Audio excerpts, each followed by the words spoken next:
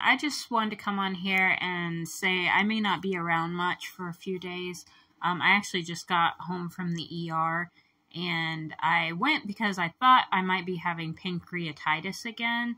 Um, it turns out that it's like gallstones, but luckily it, they're small enough that they think they can be dissolved.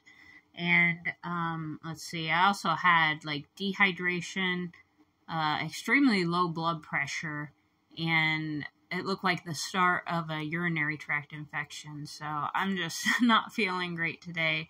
Um, but I just kind of wanted to tell everybody, and if you want to send some sympathy my way, it's a miserable day. I mean, I spent all morning in the ER, and then our cat has an appointment to be put down tonight, and I don't know if I'm even going to be healthy enough, if I'm going to feel well enough to go with my husband to, you know, say goodbye when they put our cat down. So I don't know. It's just not a good day, but I'm hanging in there.